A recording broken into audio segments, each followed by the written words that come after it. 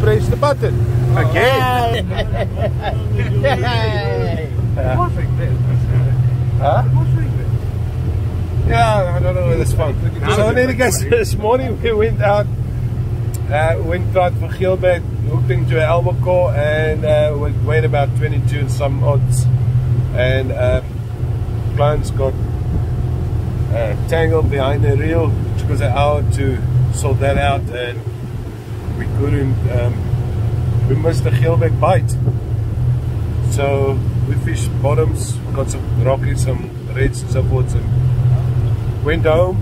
It was a five hour trip, turned and burned, came back with first timers, put them on the slingers, taught them how to fish and so forth. So they got nauseous, went home, turned and burned again. Another five hour. So it's altogether effective 15 hours of fishing, three trips after each other.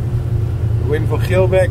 We're on our way home now because curfew gave us a, like a curveball. Uh, but yeah, I think we got our mojo, I say. Yeah. yeah.